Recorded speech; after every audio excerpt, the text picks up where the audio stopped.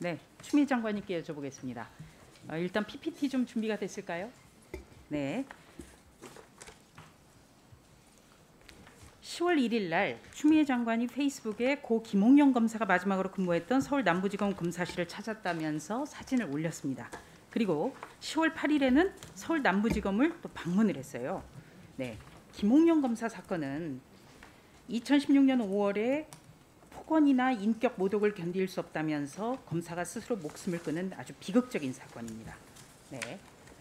법무부 장관이 아, 이런 언행을 한 것 이건 잘했습니다. 네. 그런데 제가 궁금한 게 있습니다. 이 김홍영 검사 사건은요. 김 검사의 죽음이 헛되지 않도록 사후 조치에 최선을 다하는 것이 바로 유족과 국민에 대한 진정한 사과입니다. 이것을 위해서는 신상 필벌이라는 것이 엄격하게 적용돼야 된다고 봅니다. 장관님 어떻게 생각하십니까? 신 누구에 대한 신상 필벌. 신상필벌? 그러니까 네. 김홍영 검사 사건, 김홍영 검사가 죽음에 이르기까지의 이런 과정, 그러니까 여기에 어, 제대로 된 지휘 감독 권한이 없는 사람들에 대한 신, 어, 신상 필벌이 필요하다고 생각하는데 장관님은 어떻게 생각하세요? 지휘 감독관이 없는 사람에 대한 신상 필벌이라고 하셨어요? 지휘 감독자 당시에 서울 남부지검에서의 지휘 네. 감독자에 대한 신상 필벌도 중요하다고 생각하는데 네, 네. 장관님은 어떻게 생각하십니까? 저런 사태를 어, 그 지휘 감독자가 그 방치를 했다면 거기에 적정한 처분이 있어야 되겠죠. 적정한 처분이 있어야 되겠죠. 네. 자, 다음 PPT 준비됐으면 좀 보여주시죠. 자, 당시에 그렇다면 지휘 라인을 좀 볼 필요가 있습니다. 자, 당시에 남부지검장은 총장 경고를 받았는데요.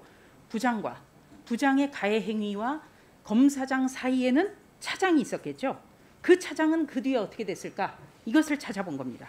그랬더니 문재인 정부 출범 이후에 핵심 요직을 거쳐서 지금 고검장에 승진도 됐습니다.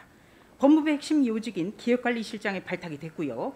또 대전검사장으로 전보가 됐다가 올 8월에는 서울 고검장으로 승진했습니다. 이것이 신상 필벌에 부합한다고 생각하십니까?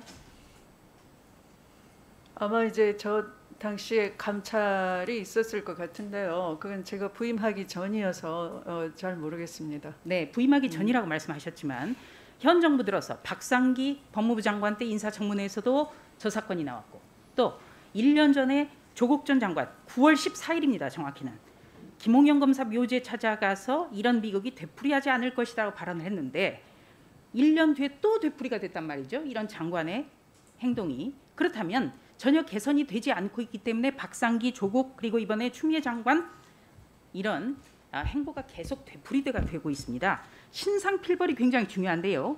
2012년에 서울 동부지검에서는 초임 검사의 피의자 성폭행 사건이 있었는데 당시 검사장은 사표를 받고 1, 2차장은 고검으로 전보가 됐습니다.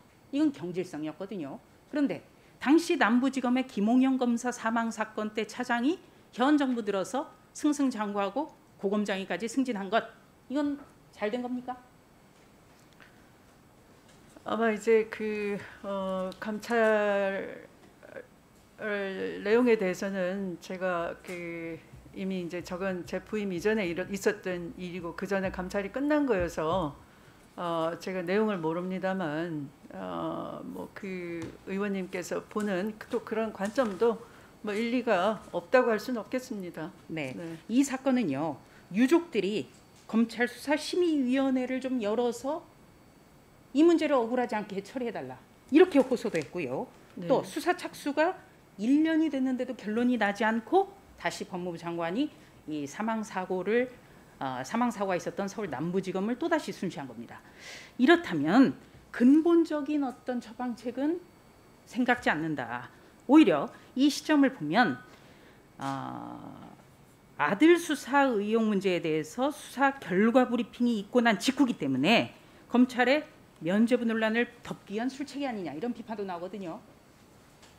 뭐 제가 죄가 없기 때문에 죄를 덮을 일은 없다고 저는 봅니다. 네, 뭐 제가- 의원님 생각이시고요. 네. 네. 그거는 이제 법무부 장관으로서 말씀하시는 거는 조금 그 적절치 않아 보입니다.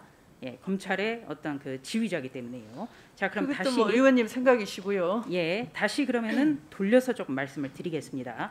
2016년 7월 바로 이 자리에서 김홍영 검사 사건과 관련해서 아, 지금 더불어민주당 의원님들의 질의가 있었습니다. 위원장석에는 대리로 박범계 의원님이 앉아 계셨고 백혜련 의원께서 이 문제를 집중적으로 질의를 했습니다. 바로 그 다음 질의 순서가 추미애 당시 의원이었는데 이 부분에 대해서는 질의를 안 했어요. 네, 이런 사건도 있었고요. 네, 그리고 저, 제가 저기 법사위원으로 어, 그돼 있다기보다는 당시에 일시 이제 법사위원 한 분이 어, 다른 상임위로 옮기면서 국방위로 옮기면서 제가 그 사보임이 된 것 같고요. 제가 저, 저 당시 당 대표였기 때문에 죄송하지만 뭐 네. 그렇게 자리만 예, 차지하고 있었지 뭐 이렇게 준비를 해올 수 있는 상황이 못 돼서 저 때는 저 사건에 대한 인식 자체가 제가 갖질 못했습니다. 네, 자리만 차지하고 있었다라는 표현 좀 적절치 않은 것 같습니다. 자, 아니 그게 그렇다면, 사실이니까요. 네, 네. KBS 시사 직격에는 이런 인터뷰가 나왔어요. 그 검사 고 김홍영의 증언 이런 제목으로 어, 한 검사가 당시 남부지검의 검사장과 차장이 검, 감찰과 관련한 진술서를 쓴 검사를 불러서 내용을 캐묻고 욕설을 했다. 이렇게까지 했는데 해당 차장은 현 정부 들어서 승승장구했다. 이것이 과연 이 정부가 말하는 공정과 정의인가? 또 신상필벌에 부합이 되는가? 그를 여쭙고 싶습니다. 의원님께서 저 사건에 대해서 깊은 관심을 주셔서 대단히 감사합니다. 아까 말씀드린 것처럼 제가 부임하기 전에 이미 감찰마저 끝난 일이고 이제 최근에 유족들이 어, 국가를 상대로 손해배상 소송을 제기하고 있는 상황에서 어, 문서 네. 기록 제출 명령을 해서 어, 장관님. 그, 그에 따라서 감찰 기록도 어, 충실히 장관님. 충실히 반영되도록 하고 있고요. 네, 또 신상 필벌이 중요하다는 말씀을 네. 드리고요. 제가 이 사건에 대해서도 관심이 것은 장관님이 이번 추석 연휴에 두 번이나 갔기 때문에 제가 여쭤보는 겁니다. 그리고 또 한 가지는 지금 그 사모펀드 사기 사건 5천억 원대입니다. 피해자도 굉장히 많겠죠.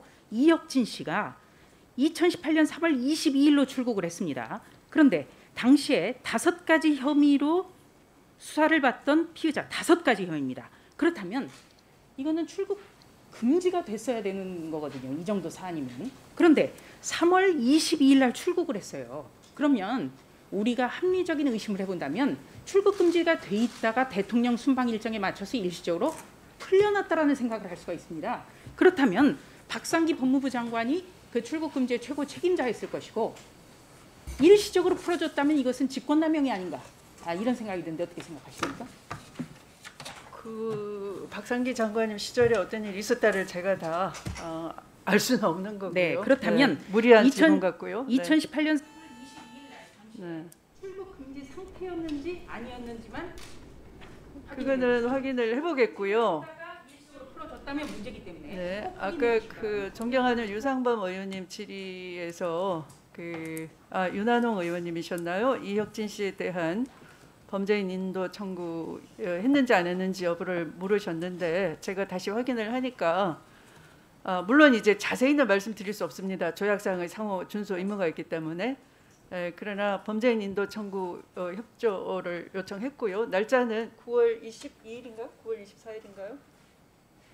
하여튼 미국 미국 접수가 9월. 아니 이거는 저 조약상의 문제라서요. 아 그렇습니까? 네, 네.